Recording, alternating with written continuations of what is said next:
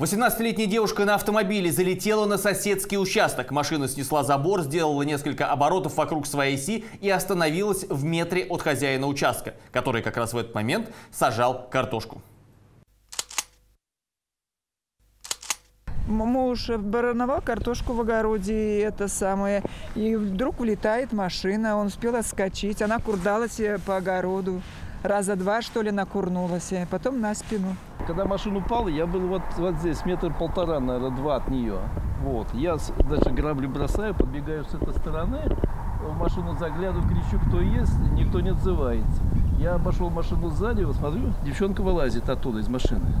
Я крикнул, ты живая? Она говорит, еще живая. Я говорю, кто в машине есть еще? Она говорит, больше никого нету. Ехала из дома на машине молодого человека, начала входить в поворот, увидела ямку, начала ее объезжать. Получается, съехала чуть ближе к середине.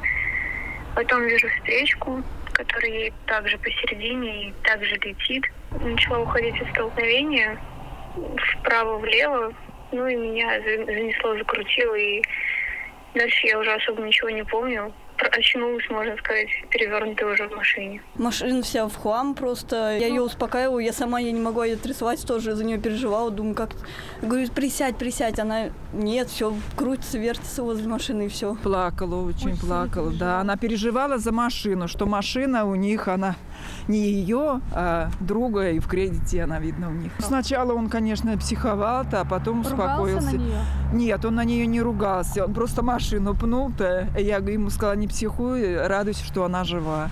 И он успокоился, он не кричал ничего. Знаем, что у нее права совсем недавно. Знаем, что вот водитель этой машины, именно этой машины, гоняет по городу только так.